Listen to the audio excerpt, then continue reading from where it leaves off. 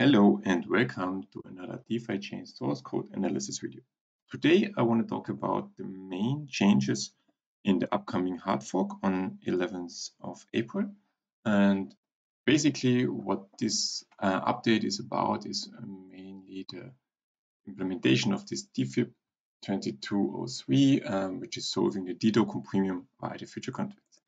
It's basically two big things in this um, uh, it's on the one hand this proposal with the future contract, and on the other hand um, this um, strengthening of the DUSD by counting them in the same way as the mandatory 50% DFI.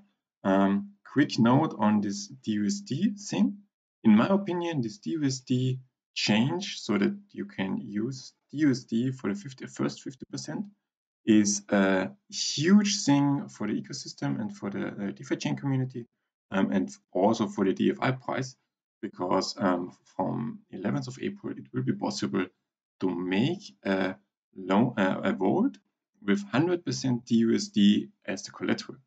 And with this DUSD vault, you can then take a loan and put it into liquidity mining, getting 100% APR on this liquidity mining um, exposure, which means you, if you play it right, you get up to 66% APR on your DUSD without any exposure to DFI or anything else. So 100% market neutral, 66% APR, which is crazy. And I think we will see a huge amount of inflow into the um, ecosystem.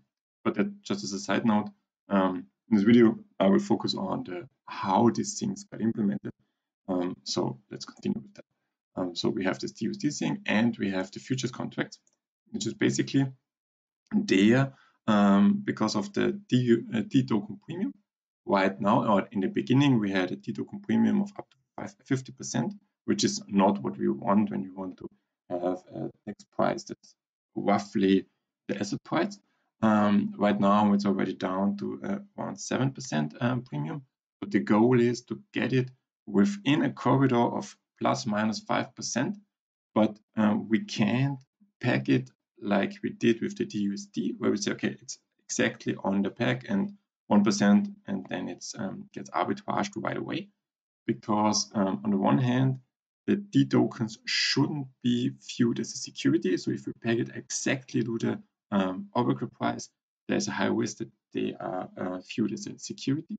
And on the other hand, the Oracle might be lagging, might be behind, or um, might even be um, not responding or not updating the price um, over the weekend, for example, where uh, the, the, assets are not traded on the um, on the weekend. So, but they're traded on DeFi chain. So you um, might have the situation where, where the DeFi chain um, traders um, anticipate a huge market change or a huge increase in the price on Monday. And we already do that on the weekend. We already traded up on the weekend. And then the Oracle is yeah, lagging and down. Um, and we don't want to burn anything and um, force the price down in such a case. That's why the solution now is that we only do uh, provide this arbitrage possibility with the future swap um, once a week. So it's every seven times 2,880 blocks. We have a settlement of those futures, and those futures will settle. Um, we have two futures. One will settle 5% above the Oracle price, and the discount will settle 5% below the Oracle price. So you are always getting a 5% worse price than Oracle itself, but you can't trade the Oracle. Um, so that's um, what keeps the price within is 5% once a week. So in the rest of the week, it might trade at 10, 20% up or down. Um, so it's just a loose binding, but it's a binding to have over time get a stable um, corridor. Again, if you want to see what changed, um, we have the release 2.70, the Fort Canning Road. Um, it's meant to update and everything. And if you scroll down a bit, you see the features that went into this um, update.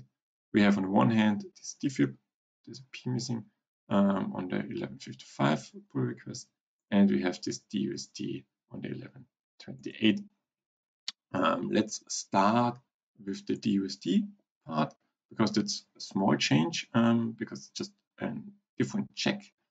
Um, we already have DUSD as collateral in, we already have it with the uh, ratio and everything, so it's just for this checking. Um, and this happens here in the master nodes, master node checks, which is basically where if you send in a transaction or a request to the node that we say, I want to withdraw collateral, or in the uh, message where I send in, I want to take a loan.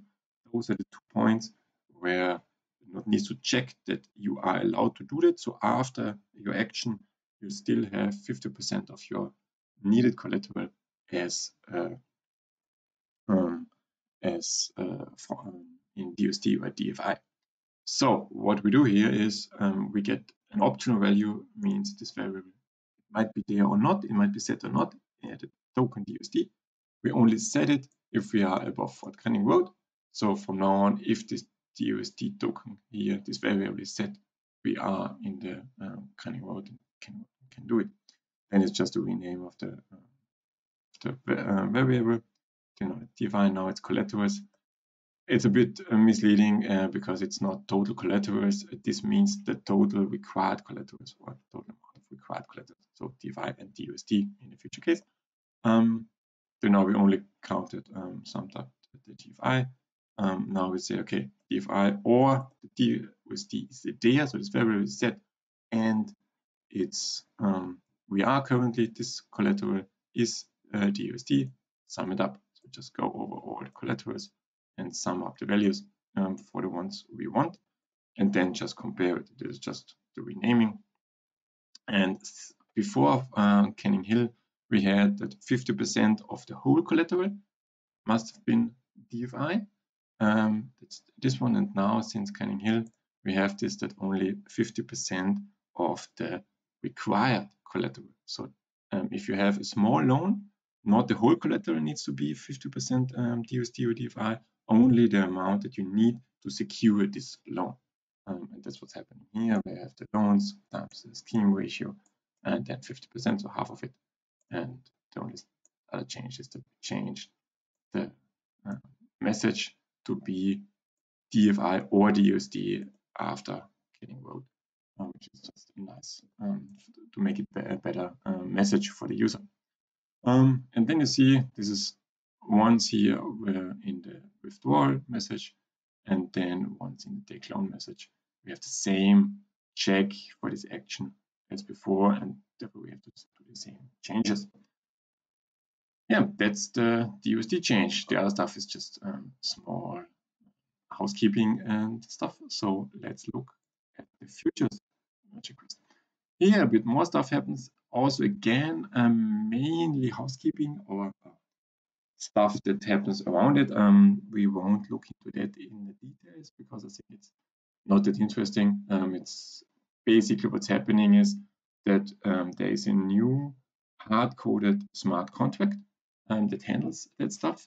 Um, we will look at how this how it's handled, but the change the chain parameters and the counts and stuff, the data structures in there, which are just yeah, boring stuff that you have to do in C++ if you do something like that. The interesting things are basically two things. Um, interesting things are two two parts. On the one hand, um, where we send in the message, where we say, okay, the part that how you tell the um, the node or the, the, chain that you want to create this future swap, um, or withdraw one, and then how it's processed. Um, maybe a quick how this whole thing works. Um, as I said, it's once a week. It's settled. Um, during this period, so uh, during the week, you can send in to the chain uh, or to the co smart contract in this case. Um, you send in a I want to swap 1000 DUSD for the Tesla. Um, then the smart saves that and says, okay, um, uh, I, I, keep that as a reference. And at the settlement date on a future block, um, um that's once a week, um, it will go through all the stuff that he saved and said, all the swaps. Okay, this address wants to swap 1000 USD. I take the 1000 USD, um, and convert it with the active Oracle price to um, the T, uh, to T Tesla with a 5% premium and swap it. Um, so when you send it in, you can't decide the price. The price is decided on the settlement. So you request a swap, but it's a future swap which will be done in the future. Um, so that's the, the theory behind it. Let's go into the code. Um, you have here the um, handling of the future swap message. Um, basically, a lot of checks. Are you the owner of this address? If not, get out. Do we have the attributes? Do we is the DFIP even active? If not, get out. Um, do we have a block reward, uh, block period and reward um, keys in the attributes? If not, get out. Fun fact, the block period is the um, is one week um, of uh, blocks and reward is basically a completely wrong name. It just, it's a bit legacy and got in and we missed this before the release to change it. Um, it's changed now, um, but this is the the uh, the premium or discount. So it's five percent. It's saved as attributes on the chain, um, but yeah, basically it's called reward, but don't get confused. It's not a reward. It's just this period, uh, this premium um, offset. Then um, we check if the if you want to swap a positive amount, um, can swap zero or negative, and if the loan token that you want to swap from is even a loan token, and then if you swap from DUSD to T token, because that's one one way to swap DUSD into T token, um, we check if the destination that you have, if it's disabled, because you could disable this swap functionality for single tokens. If it's not disabled, check if the token is even a loan token, if it's there. If not, get out. So it's just error checking. And then the other way around is that if you swap from a D token, you have to swap into DUSD. So there is no way that you can swap from D Tesla to QQQ or something. You have to swap from from a D token to DUSD. So once you, if you're not swapping from DUSD but from a D token, you can't define a destination. You can only define um, you're swapping from this token and automatically it decides that the destination is DUSD. So it only checks if for this D token is disabled. If not, everything's fine. Now, as I said, internally it's handled as a smart contract. So we get the smart contract address of the future swap contract. Um, if it's not there, no problem. Um, then we have the diff token if they are active and everything. Um, and then we have two cases in this message. Are you withdrawing uh, um, from a swap or are you creating one? Let's start with the creating because it's a bit simpler and um, easier to understand. So if you want to create a swap, so you as a user say, I want to swap 1000 USD to T Tesla and it will be settled on a future block, but right now I'm telling you I want to swap. Um, we already checked everything, so all we need to do now is we transfer those tokens. So your ID, the DUSD or whatever, um, and the value is transferred from your address to the contract, to the smart contract. So it's stored there, it's locked, you can't access it until you either withdraw it or it's settled. Um, and we store this futures user value, it's just a data store on the chain that we say on this block height, this address told us to swap this source, and the source is a um, token and value, so a token amount, um, swap this token with this amount into this destination. Destination is just the ID of the token. So again, you don't get to choose the price. Price will be uh, defined on the settlement. So here you just stay um, safe that this address wants to um, swap this amount of DUSD into the Tesla. And we update the balances and we are done. So as I said, sending in the swap is pretty simple. Getting it out, so um, withdrawing, is a bit more complicated because you can send in multiple swaps. You can send in, um, I want to swap 1000 DUSD for to T Tesla. Um, a few blocks later, say, oh, I want to swap another 500 DUSD to T Tesla and stuff like that. So you might have a long list of open swaps that you want to um, that you want to have. Um, but now when you withdraw, it might be that you withdraw, you send in 500 USD, 200 USD, and then you want to withdraw 550. Um, so you need to um, sum that up somehow, and that's what we are doing here. Um, making it easy, um, just go through all the future swaps um, of this owner and only take the ones that are in the current period, because that's current period started, current height minus the block period, what's in this period. Um, so it's in this, if it's not in this period, I ignore it. If it's this owner and the same token ID and the same destination, because it could be that you have other swaps open, so we don't want to count them. Um, then if it's the right owner, the right token ID, the right destination, we sum them up. So we, we keep them and store them in this future values array. And then we go over those stored values and add them up. That say, okay, all the values, the amounts, add them up. And that's now the crucial part, we remove, erase those future values. So this we stored this um, swap for this user, this long list. All the the values we have in here now, we erase them from the ledger and say, okay, um, from this total futures, we sum up the total amount. From this total amount, reduce my um, amount that I want to withdraw. If this is, if I want to withdraw more than I have, this is an error and I'm out.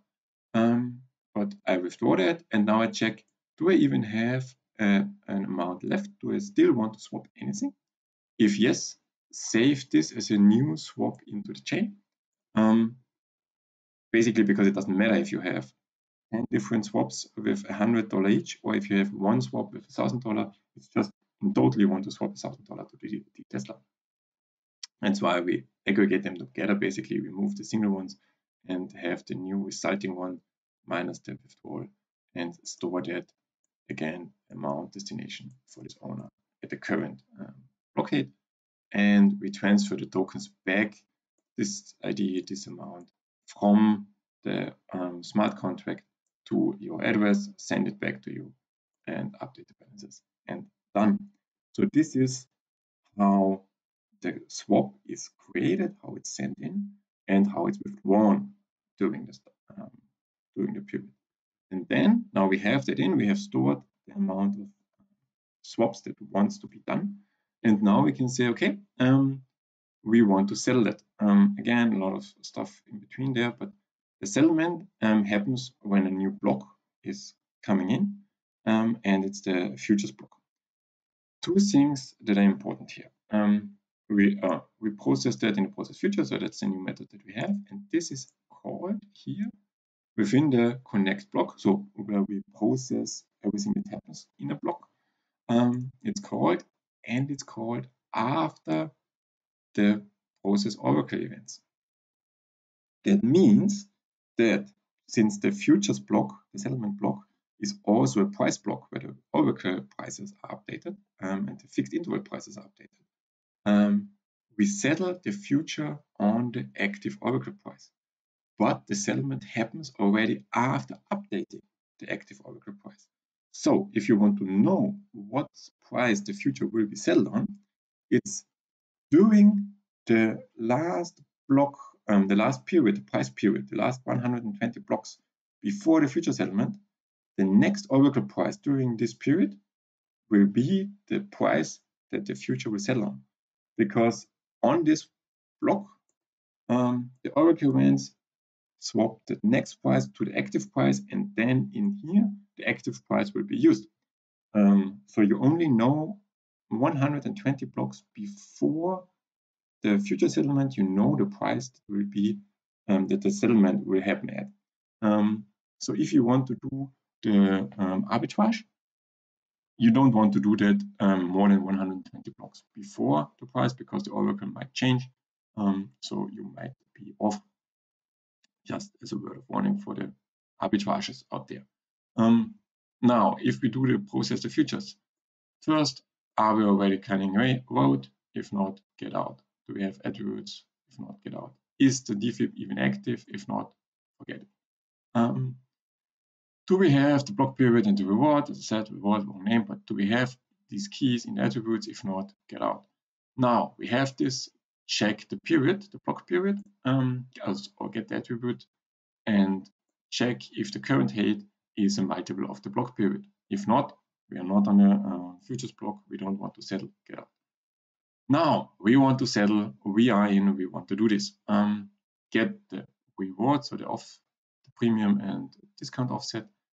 Um, if you didn't watch the previous videos, um, coin is basically just a reference for one because internally to prevent floating point errors, internally all calculations are done as a multiple, or all numbers are represented as a multiple of 100 million. So the, the Satoshi amount from Bitcoin, where that's where it's come from because we're based in Bitcoin. Um, in on DeFi chain we call it Phi. Um, so one Phi is one 100 millionth, and every amount is in multiples of that. So coin is just 100 million, but in for the calculations it's easier to see this that as one, and this now so coin minus reward percent is represents 2.95 and the premium is 1.05 um, just in a other representation. Um, then we have the future prices. Um, this map will just store for each token what are the prices that we want to settle on. Um, it's future prices. Futures prices is just um, a data structure with a premium and a um, discount price. And then we go through um, each loan token, go in, get the token, check that it's um, not disabled um, because you can disable the loan token for uh, the future for one loan token.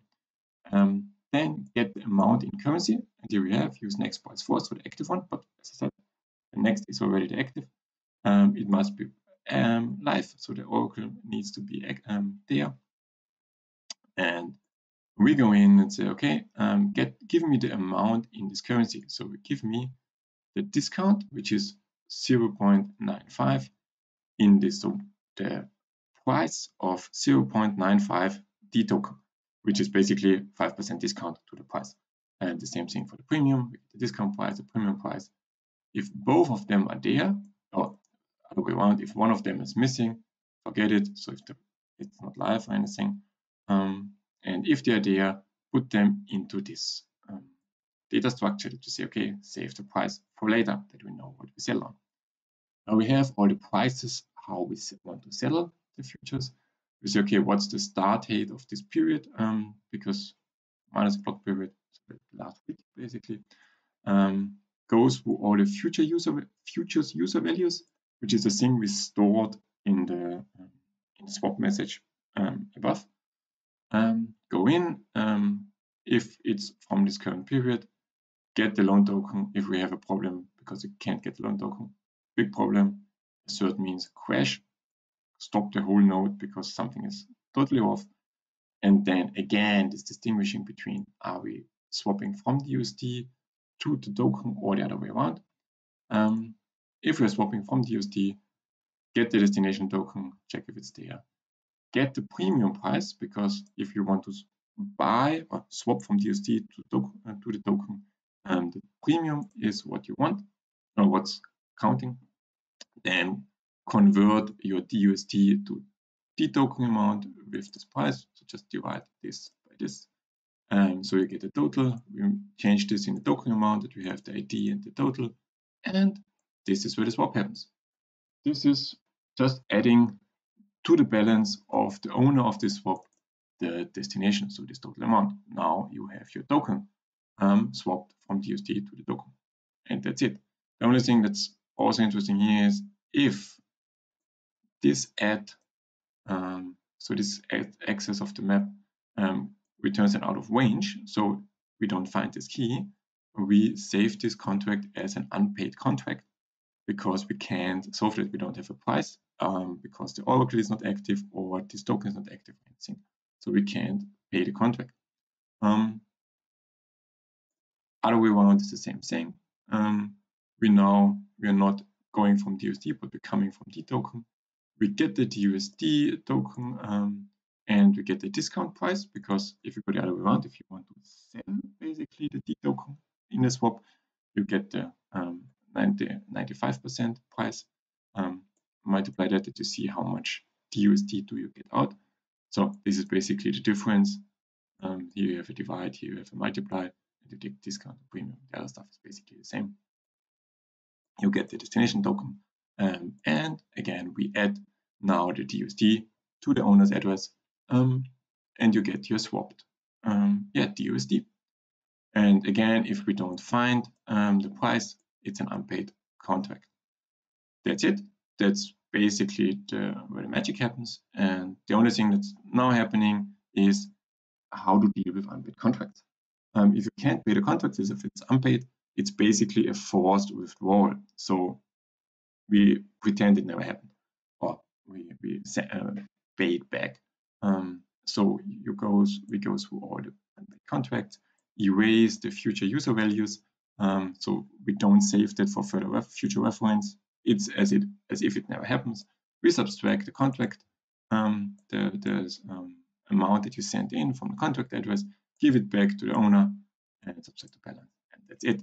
So just as a um, sum up, um, when you send in the token to be swapped, the DUSD or the D token, we um, transfer this token to the contract address and it stays there. Even if the if it's swapped, the original amount stays there and the swapped amount is just created out of thin air and sent to your address.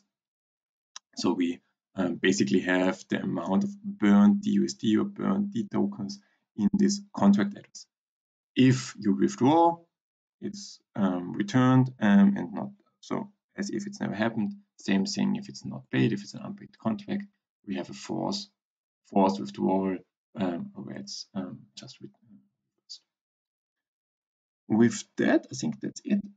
If you have any questions, leave a comment. Um, I hope it helped. I hope that was interesting and gave you a bit of an overview how this whole thing works and how it's done under the hood if you have a developer, if you can read C++ and understand a bit what's happening there, please join us in the repository, um, do reviews. You don't need to code anything. Just get in, review the code, leave your comments um, so that we find all the bugs and everything before we go into testing. This thing was on test now for a week um, and we tested it excessively. So I think we handled all the stuff and we found all the bugs. Um, so should be a pretty smooth hard fork again. Um, looking forward to that. Looking forward to the first um, future settlement, which will happen on the 14th of April, I think. So let's see how many DUSD we burn and what's happening. And hope let's hope that the DUSD vaults have the effect that I think they have. Um, and looking to a bright future of DFI. So see you in the next video. Bye.